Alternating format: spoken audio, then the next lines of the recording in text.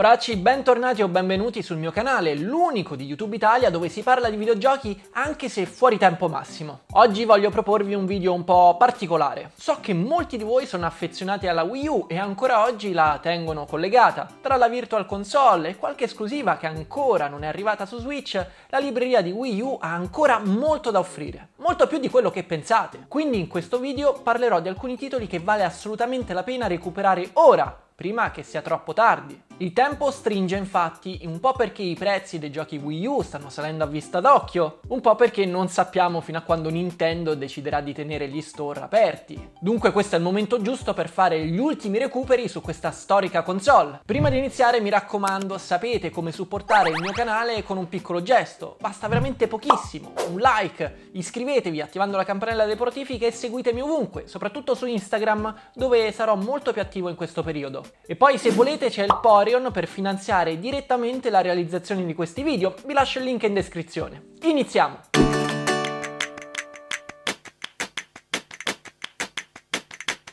Partiamo da una vera e propria hidden gem, disponibile anche in edizione fisica, Tank Tank Tank. Lo conoscevate? Secondo me No. Tank Tank Tank è uno sparatutto arcade in terza persona che si rifà chiaramente alla formula popolarizzata dagli Earth Defense Force. Anche qui sarete chiamati a distruggere qualsiasi cosa si muove su schermo, principalmente giganteschi mostri che minacciano contesti urbani, solo che per l'occasione sarete alla guida di un carro armato. Come tutti gli ADF, il gameplay è frenetico ed arcade e per questo tende a diventare un po' ripetitivo se si affrontano lunghe sessioni di gioco e di certo non aiuta la struttura della campagna in giocatore singolo che costringe a rigiocare più volte gli stessi livelli per ottenere medaglie necessarie nella progressione del gioco. Anche i controlli sono tutt'altro che fluidi e la grafica potrebbe appartenere a un titolo uscito diretto dalla Wii. Ma allora cosa ha di speciale questo Tank Tank Tank? Il multiplayer. Tolti i classici deathmatch, la parte più interessante è sicuramente la modalità My Kong, pensata per sfruttare al meglio il sistema di controllo della console. Il giocatore col paddone prenderà il controllo di un gigantesco gorilla intento a distruggere la città, su cui potrà tra l'altro appiccicare la propria faccia digitalizzata grazie alla telecamera frontale del pad, mentre i restanti tre giocatori dovranno cercare di abbatterlo. Un multiplayer asimmetrico divertente e ispirato che da solo vale l'intero prezzo del biglietto. Superato l'impatto iniziale iniziale troverete in Tank Tank Tank un gioco in grado di regalarvi parecchie ore di divertimento, soprattutto in compagnia. Del prossimo gioco ve ne ho già parlato nel video dedicato alla Wii U uscito qualche tempo fa, ma credo sia giusto ribadire l'importanza di questa hidden gem che in molti non hanno considerato perché pubblicizzata nel modo sbagliato. Praticamente il destino di tutta la Wii U condensato in un unico software, Wii Sports Club. La più grande colpa di Wii Sports Club è stata quella di essere arrivato a soli 8 anni anni di distanza dall'uscita di Wii Sports su Wii,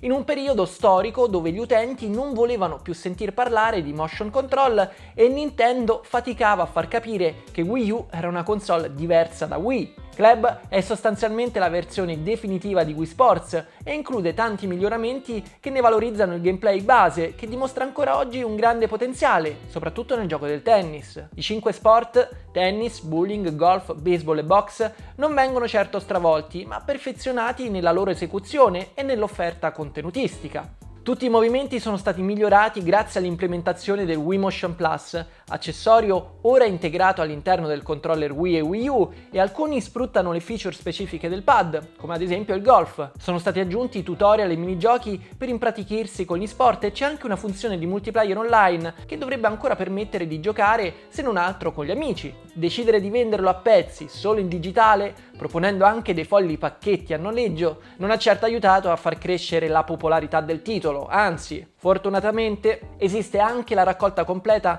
con tutti e cinque gli sport in edizione fisica, anche se il prezzo ormai inizia a salire e non poco. Se però dobbiamo parlare di esclusive che sfruttano appieno le potenzialità del gamepad, Beh, il primato stranamente non spetta a Nintendo, ma un gioco indie semi sconosciuto disponibile solo su eShop. Affordable Space Adventures. In questo gioco vi ritroverete ai comandi di una piccola navicella spaziale che si ritrova ad esplorare un ambiente alieno ostile. Grazie al gamepad potrete controllare i movimenti della navicella e allo stesso tempo gestire tutta la plancia di comando che apparirà sullo schermo del pad. L'interfaccia touch del controller permetterà di navigare tra numerosi menu che gestiscono le funzioni interne dell'astronave come i motori, il serbatoio del carburante, lo stabilizzatore e così via. Il vero potenziale di Affordable Space Adventure si sblocca però in multiplayer dove i compiti vengono divisi tra tre giocatori. Un utente si occuperà degli spostamenti, l'altro controllerà lo scanner, mentre il terzo sarà l'ingegnere addetto all'operatività del sistema. Si viene a creare così un multiplayer cooperativo incentrato sulla comunicazione che mette sullo stesso piano i giocatori, conferendogli compiti specifici e facendoli diventare tutti una parte fondamentale dello stesso equipaggio spaziale. Esiste solo la versione digitale di Affordable Space Adventures, un'esclusiva Wii U che non dovreste farvi assolutamente scappare. E visto che siamo in tema di titoli multiplayer,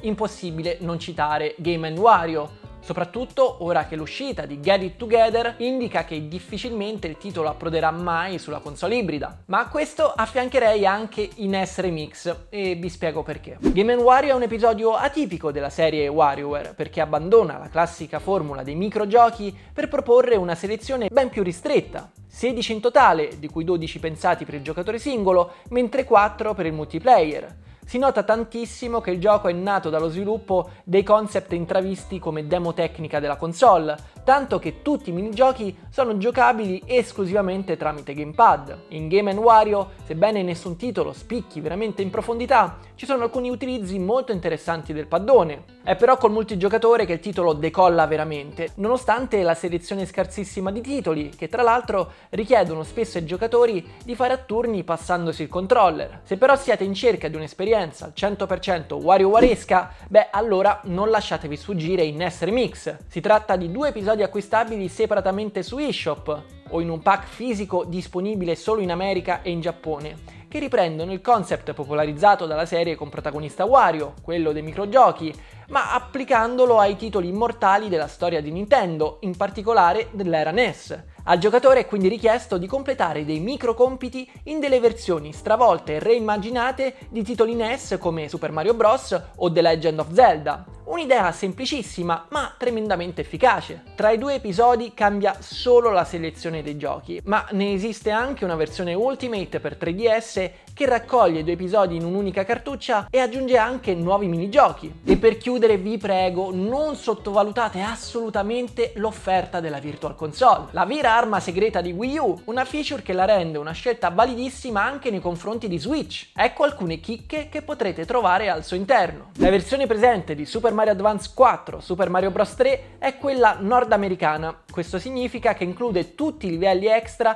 che erano associati all'utilizzo dell'e-reader, periferica che non arrivò mai da noi in Europa e le cui carte sono diventate difficilissime da reperire. Quindi questa versione è la più completa ed economica del titolo GBA che potrete mai trovare in giro. L'anno scorso Nintendo ha proposto a tempo limitato la riedizione del primo Fire Emblem su eShop. Si trattava sì della prima volta che il gioco veniva tradotto dal giapponese, ma ora non è più disponibile. Per fortuna che sulla Virtual Console è possibile reperire la versione europea del suo remake apparso su DS, Fire Emblem Shadow of Dragon, che tra l'altro è una versione invecchiata decisamente meglio dell'originale su NES. Inoltre sono tantissimi giochi mai usciti dal solo giapponese o nordamericano che possono essere facilmente accessibili ora da Virtual Console. Si parla di pietre miliari del calibro di Chrono Trigger, Final Fantasy 4 e 6, Earthbound e Super Mario RPG. Tra tutti segnalo anche Drill Dozer di Game Freak, un action adventure pubblicato su GBA nel 2005 e mai arrivato in Europa, ma quella presente su Virtual Console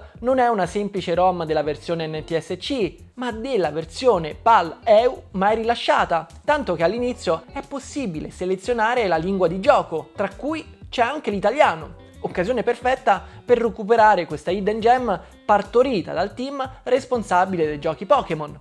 Lo sapevate? E poracci, queste erano alcune delle esclusive Wii U che secondo me vanno recuperate subito, al volo. Voi cosa ne pensate? Avete altri suggerimenti? Dai che vi aspetto nei commenti. Come al solito vi ringrazio per essere arrivati fino in fondo e vi do appuntamento al prossimo video. Io sono il Poro Wii, Michele Yu, ciao! Ehi ehi ehi, fermo! Se questo tipo di video ti piace, prendi in considerazione l'idea di supportarmi sul Poreon, il Patreon dei poracci. Con un piccolo contributo mensile mi puoi aiutare enormemente a portare avanti i contenuti qua sul canale e in cambio ricevi anche delle ricompense di tutto rispetto come retroscena, anteprime e anche live esclusive dove andremo a caccia di retro game. Ti lascio il link in descrizione e ricordati che poracci si diventa.